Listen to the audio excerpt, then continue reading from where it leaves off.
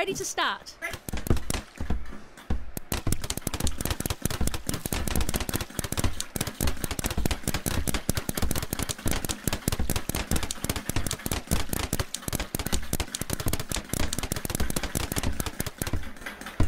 He's dead.